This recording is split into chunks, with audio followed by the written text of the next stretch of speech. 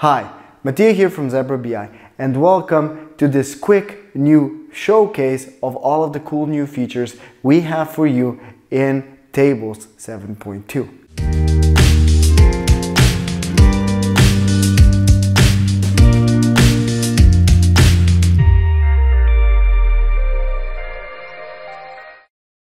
We've been listening to your feedback and I think we've made some great improvements that will help your productivity but also the usability of our visuals. The first major improvement that I want to talk about is adding even more insights into your comments. Now imagine this scenario. You're looking at a sales report and you can see that your sales aren't doing that well. But now you have to put in a comment to tell this to everybody. And in the comment, what you would like to do is you would like to structure it with different points of sales and just say that some are doing better and some are doing worse inside of the comment so the people reading this will understand it better.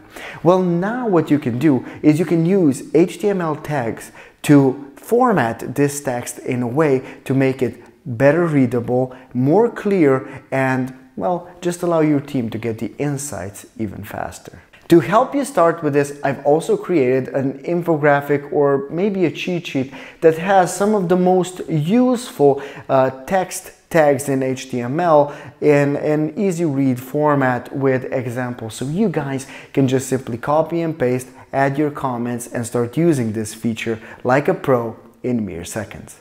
You can download it from the description below. And don't forget, if you like this kind of tips, leave a like on the video and subscribe. The second important improvement is something that many of you actually reached out and I'm very glad that we can finally give it to you. It's commenting on highlights. With this, you have the ability now to highlight more than one data point and create a comment encapsulating all of them with more insight.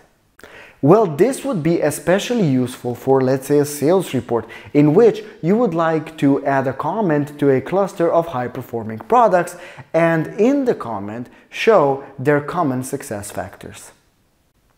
As you can see, our development team has been working hard to bring to you all of these cool new features and also create a better experience for all of you using our products.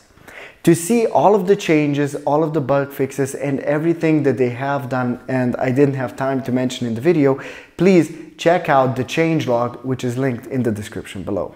We at Zebra BI thank you for using our products and we're happy that you're taking the next step in your reporting game. I'll see you in the next update.